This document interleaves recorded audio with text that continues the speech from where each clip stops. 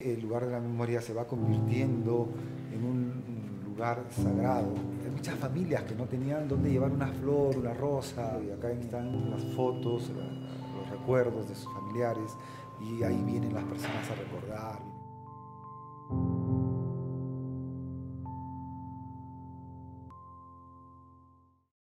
Yo soy uno de los pocos que han tenido la suerte de por lo menos llegar y tener donde vivir, pero el 99% de la población que se ha venido escapando no han tenido dónde llegar y eran quechua hablantes que nunca habían pisado la ciudad.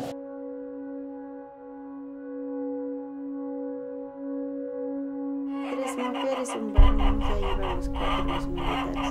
hemos amanecido ya del base de Milpo arriba ya en el cerro tanto caminar, ahí hemos amanecido. Ahí llegamos y hasta amanecido ya 5 de la mañana ya. Entonces le digo, me cansé, le digo, tú con mi barriga mi hijo, le digo, joven, ya no puedo caminar, un ratito voy a descansar, le dije. Me dice, carajo, tu madre camina y te ruca, me dice.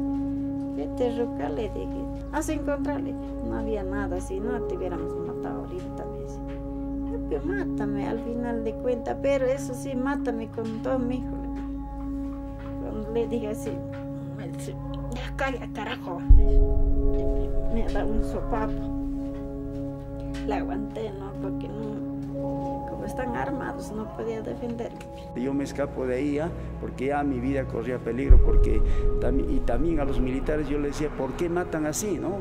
Y me quisieron nombrar este, alcalde distrital, no quise porque el alcalde y el juez, el gobernador tenía que llevar mujeres, tenía que llevar carneros al cuartel para su uso de los, de los militares. Yo, yo no aceptaba eso y me quisieron matar, yo, yo me escapé. Noviembre lo mata mi tío Sócrates Mendoza. Nosotros al tercer día enterramos a mi tío y tenía que retirarme desde esa fecha, dejando todo, todos mis bienes, toda la tienda.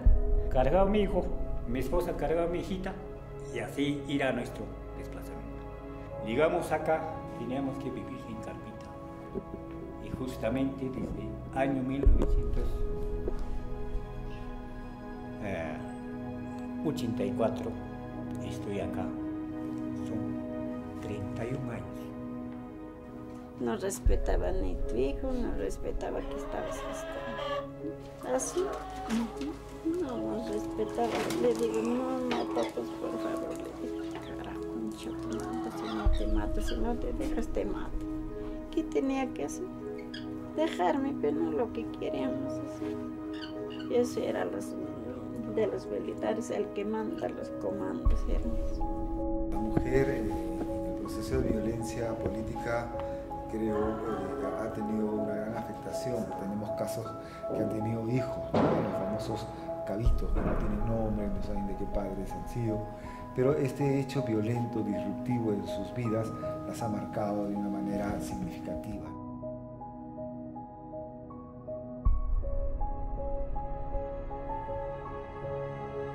Y mi esposo más bien, ese rato él se fue para la chacra adentro, al maizal.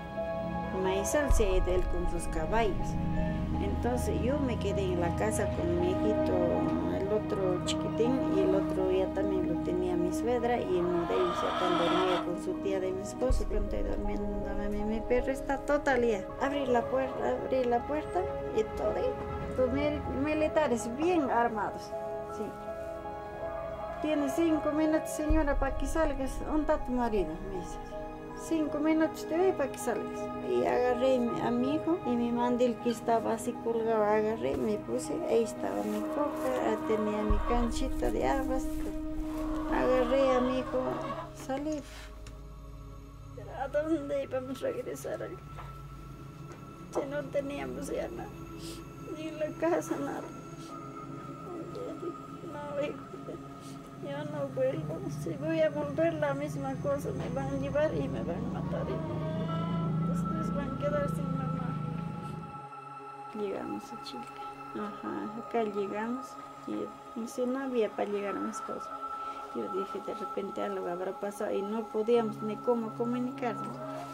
De dos meses regresó ahí con su platita y ahí recién compramos nuestra frazadita, compramos nuestro colchoncito, porque no teníamos dónde dormir, tendíamos una manta en el piso.